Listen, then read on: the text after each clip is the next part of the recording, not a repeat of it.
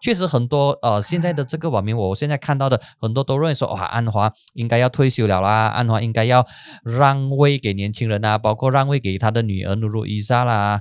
每一次提到安华的时候，如果是 live 的节目，下面肯定有很多，我相信是支持西蒙、支持行动党、支持安华的人，现在对安华感觉上有越来越多的牢骚、不耐烦。你觉得到底是什么原因？原因很简单啊，他。啊啊！落实不了他给人民的承诺啊，几次了，所以所以那个原因为什么啊？人民会感到牢骚啊啊不满啊啊等等，就是那么简单的原因啊。那是否他必须让步给下一届的领袖？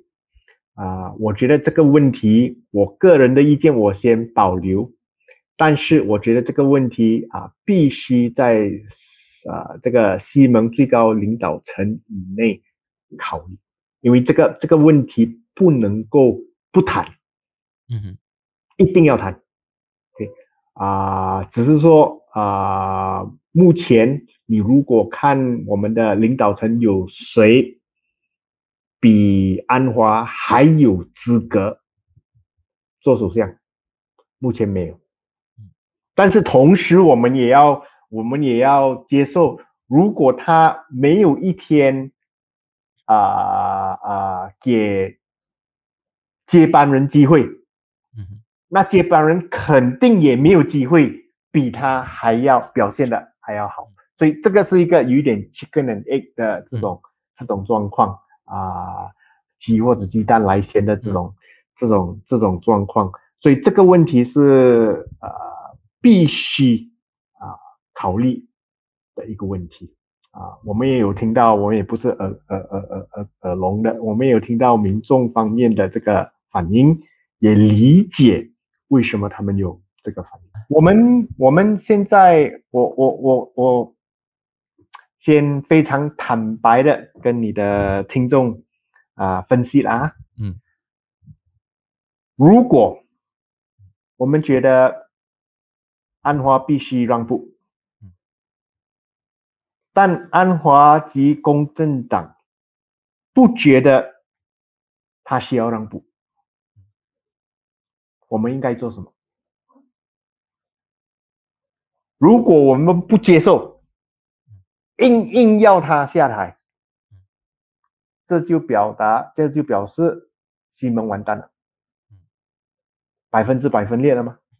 你不认同你的主要领袖就分裂了吗？这个代价值得吗？所以民众当他们讲说我们要，哎呀，安华必须下台啦，让新的领袖啦，让。卢卢伊扎也好啦，塞夫丁也好啦，其他人也好啊，沙菲也好啦，大家可能必须考虑的就是，如果公正党不愿意，我们应该做什么？让西蒙分裂，这个代价很大，因为让西蒙分裂的话，可能在下届大选我们的表现比安华做领袖还要差。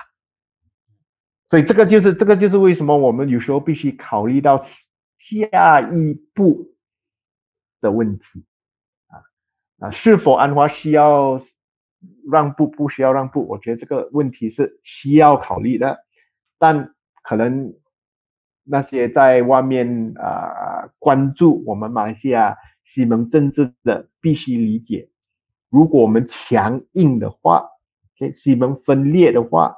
它的效果可能会更糟糕。